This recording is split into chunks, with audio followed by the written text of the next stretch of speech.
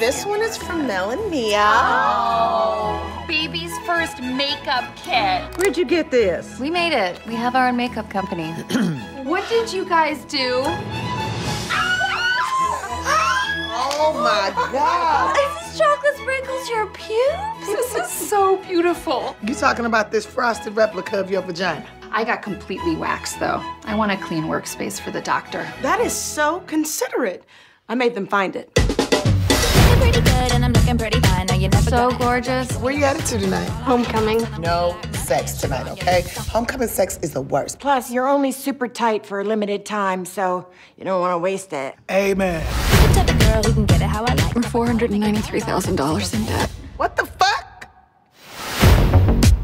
Hello, ladies. I'm Claire Luna. I am going to invest a million dollars on you.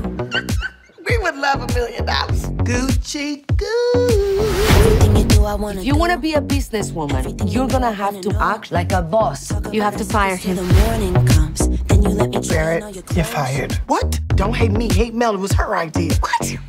Yes, it was your idea. Hey, hey, witness my tragic moment. I'm all about getting rich. Just not like this. You need to find your balls. Feel the ball smell. Not mine. I'm sorry. You touch my coca. I don't want to touch your coca. Did you see this? What? She was just trying to steal our ideas. Boss bitch. Thank you. You're welcome. For your contract, you now have to give Claire every dollar for the rest of your lives. She ain't getting away with this shit. You're a lying, backstabbing, bucktooth, Jessica Rabbit looking motherfucker. You yeasty bitch. Yeasty.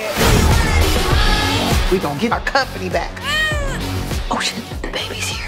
What? Put it out. Put it out. Girl, that baby look like he's smoking.